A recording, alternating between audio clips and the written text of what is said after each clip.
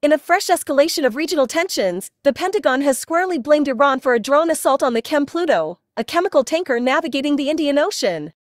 While no lives were lost, the incident has ratcheted up geopolitical anxieties.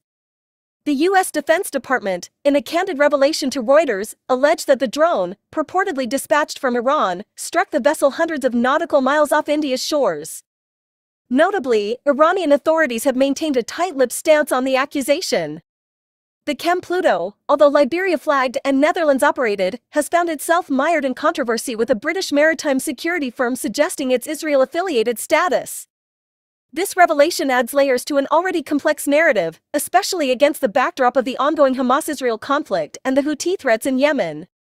As nations grapple with the implications of this attack, one thing remains clear, the waters are getting murkier by the day.